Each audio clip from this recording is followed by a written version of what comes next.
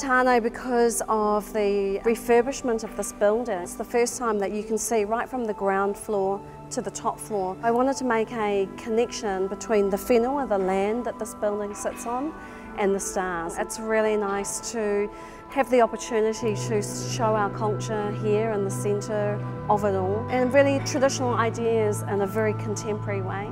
It reflects many of the beautiful performances, the events that are going to happen in um, Aotea Centre. This is my pride and joy to be able to share this work with Auckland.